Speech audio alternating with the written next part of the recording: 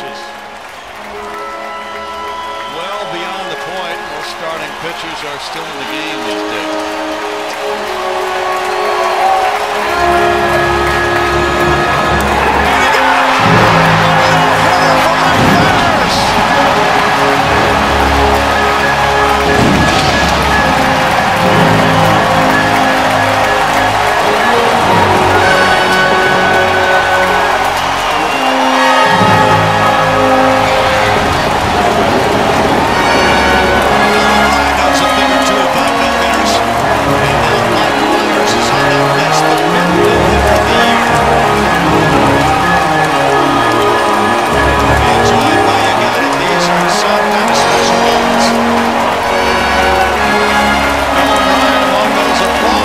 Oh.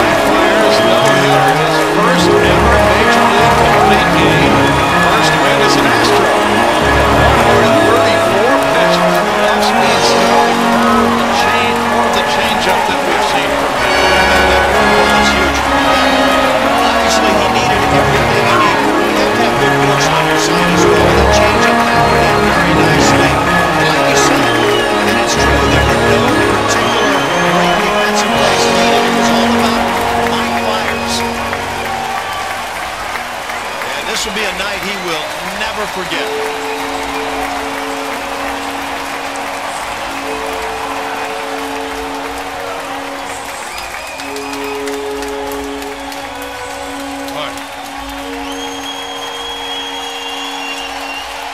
with the no-hitter, the first complete game no-hitter by an Astro since Darryl Kile, September 8, 1993 against the New York Mets. The Astros had a combined no-hitter.